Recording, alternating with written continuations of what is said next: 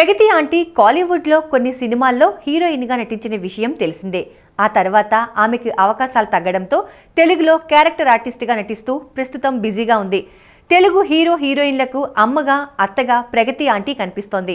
అయితే ఆమె టీనేజ్లో ఉన్నప్పుడు హీరోయిన్ ఛాన్స్ ఎలా వచ్చిందనే విషయంను తాజాగా ఒక ఇంటర్వ్యూలో తెలిపింది. ప్రముఖ director Maniratnam Roja movie release అయిన రోజుల్లో నేను కొత్తగా జూనియర్ కాలేజ్లో చేరాను. ఒకసారి నా స్నేహితులతో ఉండగా అటుగా తమిళ నటి సిఆర్ సరస్వతి వచ్చారు. ఆ రోజు నన్ను చూసిన ఆమె అచ్చం రోజా ఫెమ్ మధుబాల మాదిరిగానే ఉన్నావంటూ బుగ్గగిల్లేసింది. ఆ తర్వాత మా అమ్మతో మాట్లాడి నా ఫోటో ఒకటి తీసుకెళ్ళింది. ఇక ఆ తర్వాత సినిమా ఆఫీస్ నుంచి ఫోన్ రావడంతో వెళ్ళాను.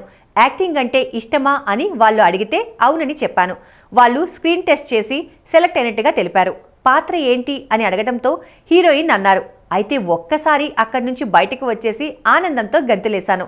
ఆ మూవీ హీరో దర్శకుడు కె. భాగ్యరాజా అంటూ ప్రగతి ఆంటీ తెలిపింది. ఇక ఆమె వయసు కూడా చాలా తక్కువే ముప్పై ఏడు సంవత్సరాలు మాత్రమే. నమ్మడానికి కొంచెం కష్టంగా ఉన్నా ఇది నిజం.